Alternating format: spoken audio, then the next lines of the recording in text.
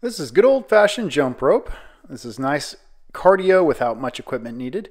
And so just make sure you have enough room in front and back and to the sides of yourself. And you can play around with different styles here. Regular old standard jump rope on the balls of the feet, both feet at the same time. You can alternate feet. Main idea is just to get the heart rate up and have a little bit of fun.